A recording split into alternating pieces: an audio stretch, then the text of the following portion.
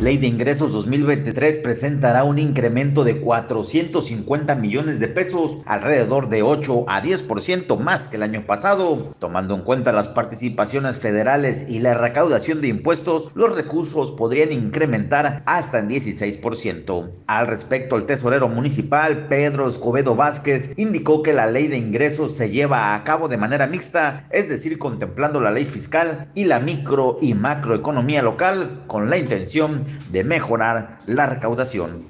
Esta ley de ingresos se va a buscar un incremento un aproximadamente de un 8 a un 10% y estamos trabajando en que va a incrementar un poco en impuestos como es el predial, toda vez que en este año se buscó una eficientación en la recaudación, hubo una recuperación un aproximadamente entre un 8 y un 10%, y eso lo estamos nosotros este, también proyectando.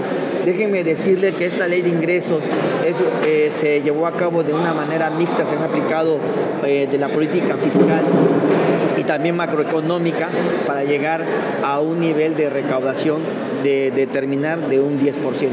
En conjunto con las participaciones federales, la ley de ingresos incrementa aproximadamente en un 16%. ¿no? ¿Son de los 500 millones de pesos? Eh, estamos hablando más de 450 millones de pesos.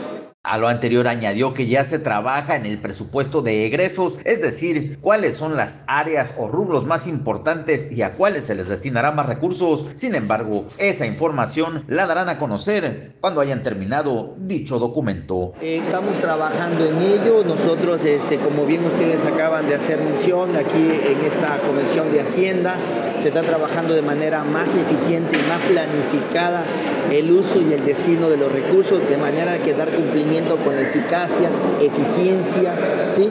y transparencia estos recursos. Estamos trabajando en el presupuesto de egresos, pronto les daré yo más información. Con imágenes y edición de Pepe Mata para Notivisión, Edgar Olivares.